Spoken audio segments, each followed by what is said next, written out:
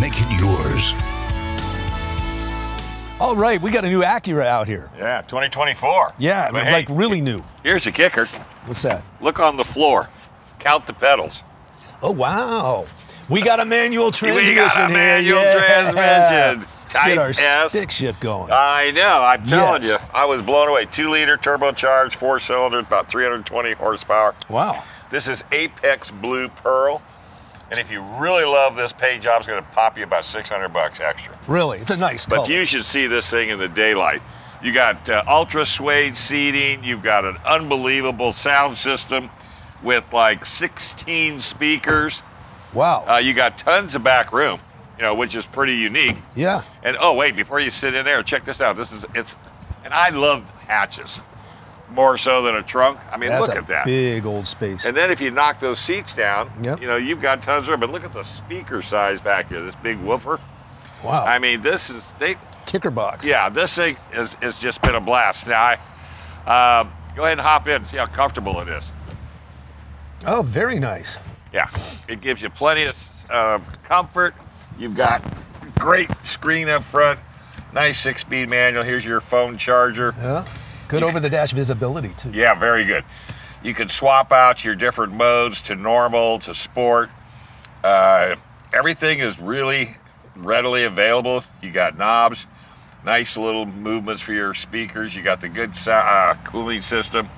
Got a limited slip dis- differential. You've got uh, Brembo brakes, so not only do you go fast, but you can stop as well, which That's is always kind of helpful. important. Yeah. Yeah, they use rear multi-link suspension, just like a race car. Really. And that's kind of really what this is. I mean, you could literally take this out on the track and just have a pretty good time with it. Um, got 19 inch tired wheels. I like the kind of a gold tinge they put on the rims Yeah, yeah. to offset the yeah, blue. that's nice bronze kind with of. that, yeah, with the red uh, with the red calipers.